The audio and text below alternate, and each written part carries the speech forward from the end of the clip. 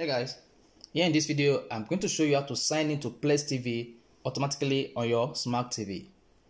Plex TV is a free streaming app for smart TV users. So there won't be a need to keep on signing to your smart TV whenever you launch uh, to keep on signing to your Plex TV whenever you launch the Plex TV app on your smart TV.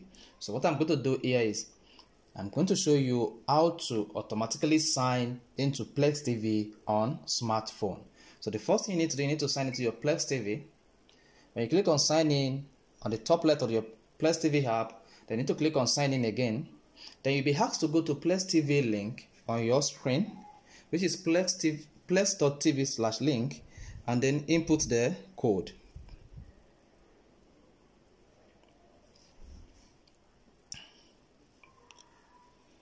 So you can just do this getting another device like a phone or a computer, then input the code on your TV screen.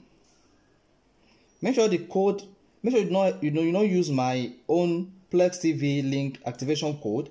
Input the code on your TV screen if you want this to work for you, and click on the link link button on your on the Plex TV link portal.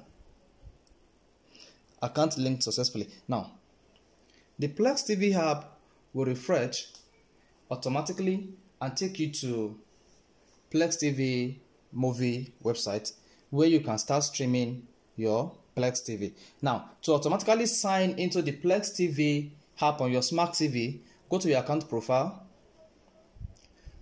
On the left, top left, this is my account profile. So you need to select the account profile. You'll be taken to your account settings.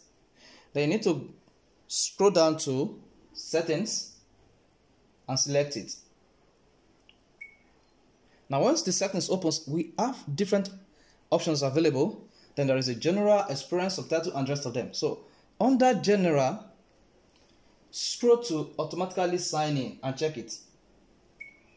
Once this is checked, when next you launch your Plex TV app on your smart TV, it will automatically sign in with the username and password provided while you are setting up your Plex TV using the Plex TV link activation code.